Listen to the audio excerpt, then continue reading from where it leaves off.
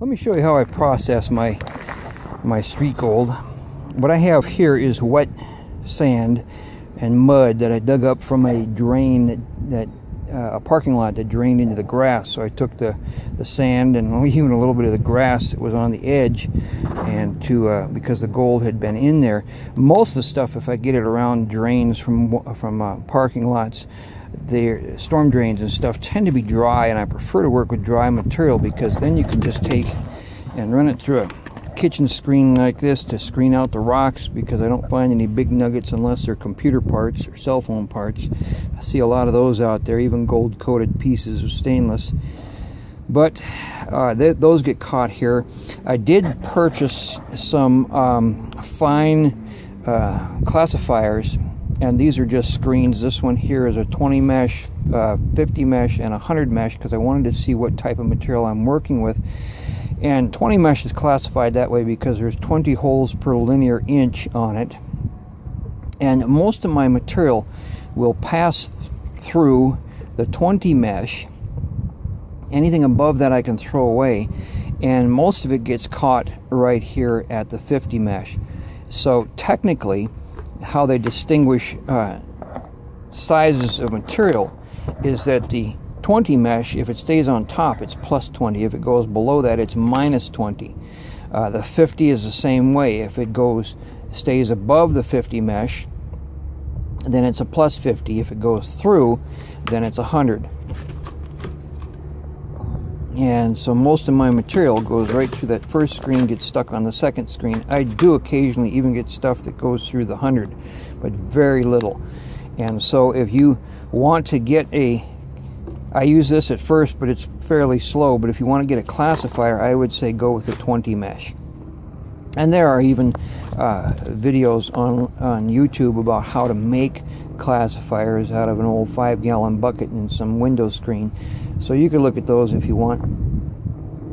The actual processing here now, this stuff I have wet, and there's a lot of mud in here. And so the process of panning is you want to, what they call it, liquefy the materials, means shake the living daylights out of it. And what that does is as you're shaking it back and forth, causes the material to rise and fall and causes everything to loosen up. That's one reason why the sides are good on these. So I'm going to take this out of here and I'm going to shake it vigorously and put it in the sun. And you can see it's still kind of muddy in there. I got a lot of mud in here. The uh, gold got washed down into mud. Sorry for shaking the camera while I'm doing this. Okay, there we've got it pretty well liquefied. That gives an opportunity for the gold to go to the bottom and I can just take my hand and push off that top material. Now most people are working in, they use basins. I use, my, I work on the road, so I've got a five gallon bucket that I use here. Or I work out of a pond or a puddle, whatever I can find for a source of water. We're going to liquefy this stuff again. And going to pour off the top stuff.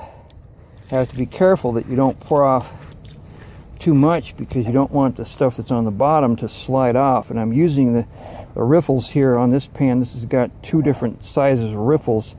For the initial stuff, I use the large riffles to keep everything from sliding out. And if you use your hand, don't scrape the bottom with your hand. Don't scrape the bottom of this because that's where your gold is going to be sitting. But you can push that off by hand. Let's do this one more time and then we'll go to some clean water. Okay. one more time and we're going to pour that muddy stuff off now we're getting down to actually some good workable material okay now let's switch to here now the materials that I use as far as tools you've seen me use the the whisk broom in this bucket here this this scoop and that's actually an antifreeze bottle that I cut up into the shape of a scoop. You can use a Clorox bottle, a vinegar bottle. Um, don't drink vinegar. Don't do not eat consume vinegar out of a plastic bottle. That's very toxic. But they do work work good for washing, and you can cut the bottles up and and use them for this. That also works as a good scoop if I'm dealing with mud puddles. That's all I have for water. I can scoop, you know, even a half inch of water. I can fill up my pan and and process stuff with it. Now let me grab this here, and one of the things that's important is to add a little soap, whether it be cheap shampoo or dishwashing detergent or jet dry. What you want to do is to break the surface tension of the water because your gold is going to want to, to uh, the fine gold is going to want to float away. Now for this here, for a good washing, we're going to use about a gallon of clean water. And da, da, da, pour it in. Sorry for the boring video.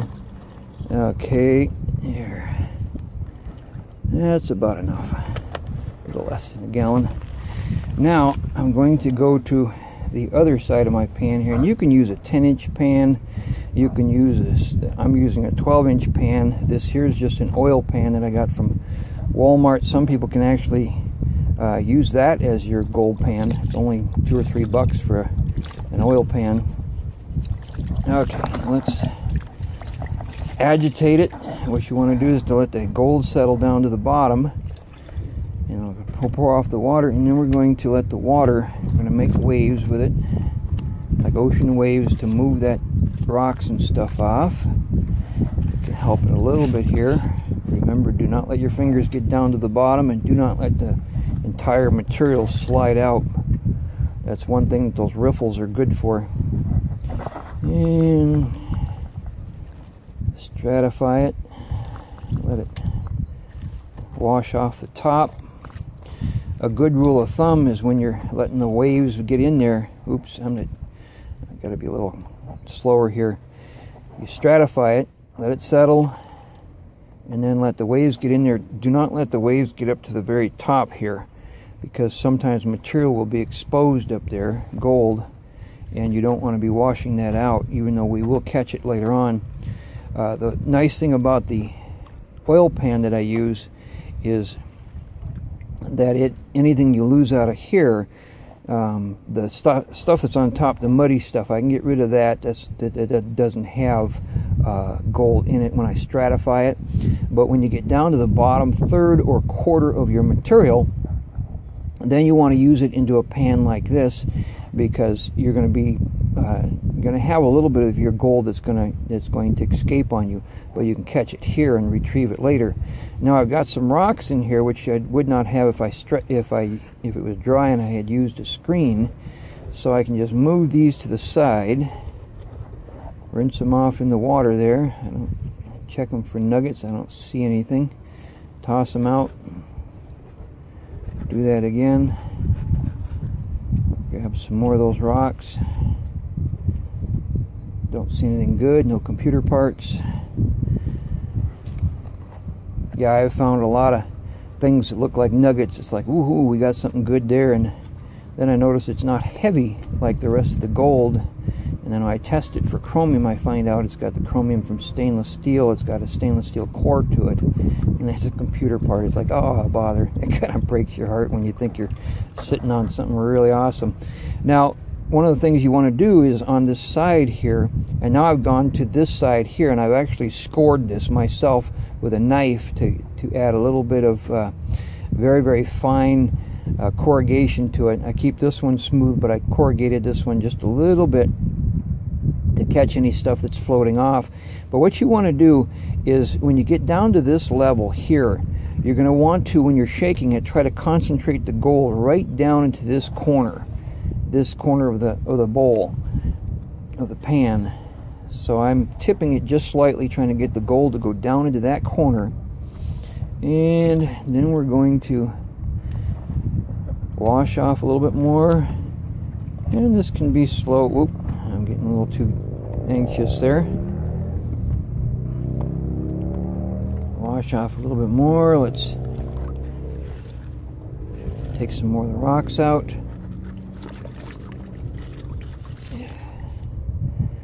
everybody pans differently. One of the things I do here then is I will stratify it or shake it up really good until I get kind of a cloud of material in there and that's the light sands. And then let that cloud pour the cloud out. Try to keep the material from going out. That's why I carved those riffles those fine riffles in there to stop the material from flowing out but I will let that cloud go out and a lot of the fine material the fine sands and stuff will go out with that cloud now we're getting down and the closer you get to your final material, the slower you have to work. So we're going to stratify this. And then we're going down. Going to take off the top material. Now, usually when I get down to this level, I've got to make things easier on myself, I'm going to take a set of magnets here. You can use one magnet or a set of them Now let me float that in that container there. And I'm just going to wrap this in plastic. And we're going to go in here and we're going to take out any magnetite, any any um, anything else that's metallic. And oh, we got stuff jumping all over. A lot of times you'll end up losing gold as you do this because the the magnetite and the other things will pull the gold in with it. So a lot of guys will, if they're doing it dry especially, will set this this uh, magnetite aside and then do it again later or redo it. Keep moving it over to make sure that you don't end up with uh, gold being tossed away with this. And I don't think we've got, I've never really had much of a problem with it, but you know, we can, as a, as a caution, just toss it back into this bucket. And once you pull the magnet off of it, the stuff just plops right off. And if you try doing it with a magnet, the magnet gets all gooped up and it's really hard to, hard to uh, get that stuff off the magnet. Now we've got, what do we got here? A little piece of stainless steel it looks like set that aside that's worthless and okay now let's go down here gonna we're getting down toward the bottom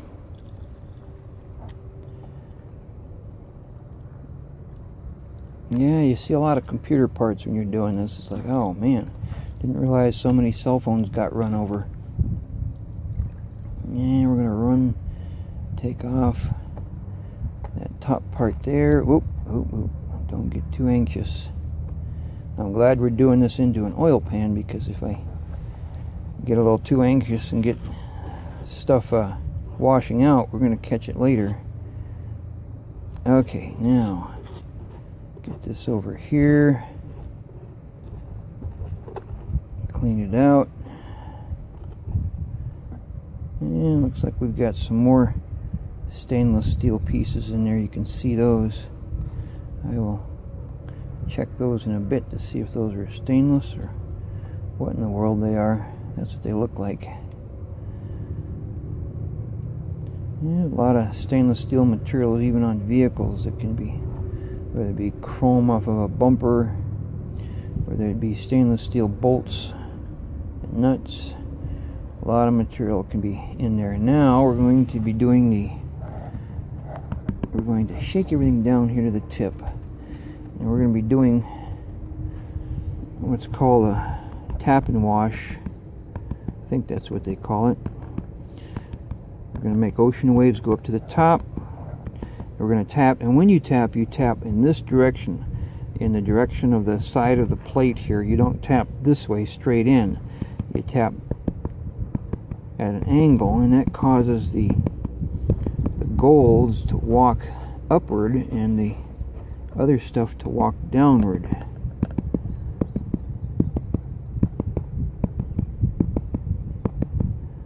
Yeah, we're getting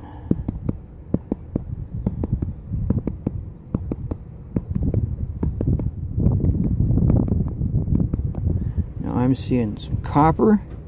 I'm seeing something gold up there. Not sure what that is.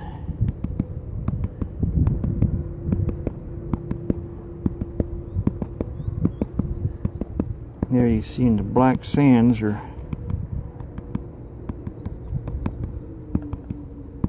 and of course I lose my sunlight right when I get done and want to show what we have here pour off a little bit of this water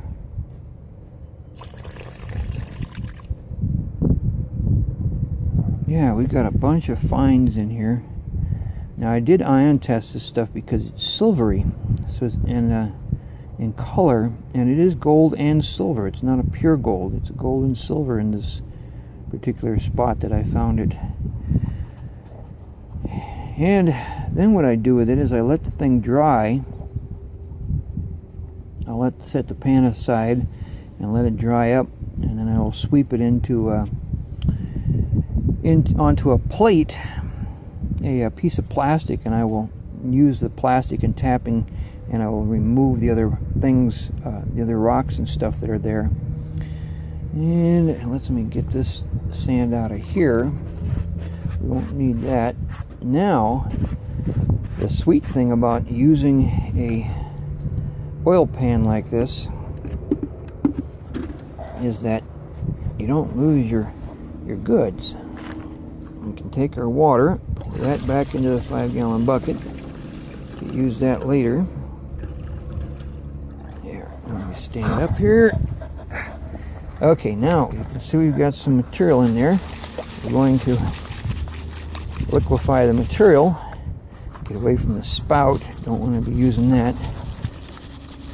I actually like to use this handle part here because it makes it,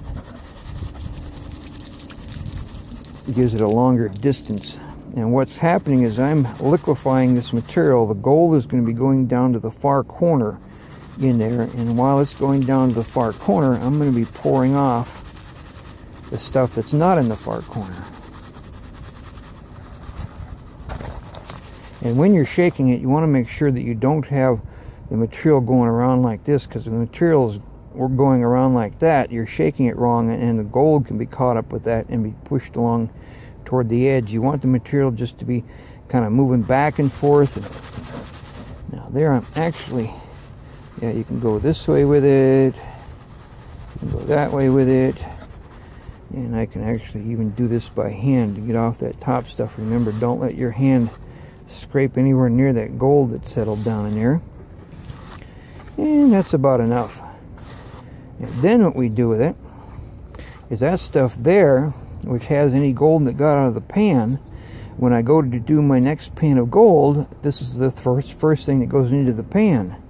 I take this, put it back in the pan, add more material to it, and that way any gold that's lost out of that pan goes into this pan, and from here it's not lost because it goes back into that pan again, and you don't lose anything that way. It's a good process. Thank you for watching.